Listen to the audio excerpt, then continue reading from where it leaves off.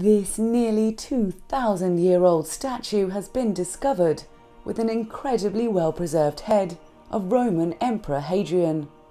The ancient relic was discovered at an excavation site in the old Turkish city of Alabanda.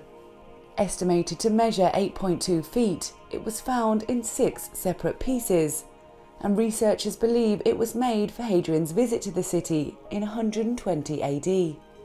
Hadrian ruled the Roman Empire for over 20 years, between 117 and 130 AD.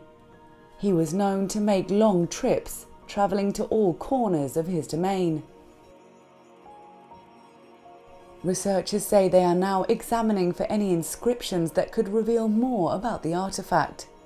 The Aydin Culture and Tourism Director Umut Tuncer said, There are very few examples like this statue in the world.